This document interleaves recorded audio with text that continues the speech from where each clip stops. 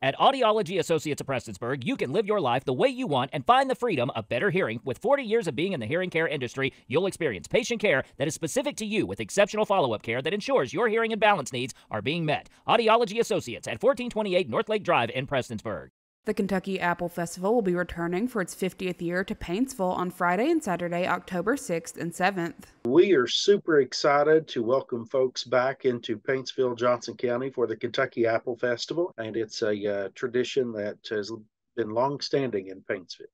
The Apple Festival boasts a host of local, regional, and even national musical artists that will be performing on the courthouse stage. Many food vendors, local artisans, and other entertaining booths will be set up all around Paintsville. Uh, the Kentucky Apple Festival offers an opportunity for people to come out and celebrate the fall harvest with their community. It's a wonderful time. Uh, lots of folks use it as, as sort of a homecoming. People come back in for um, the Apple Festival, and the traditions are long standing. For more information about the festival, you can visit the official Kentucky Apple Festival Facebook page. For Mountaintop News, I'm Kelsey Dean.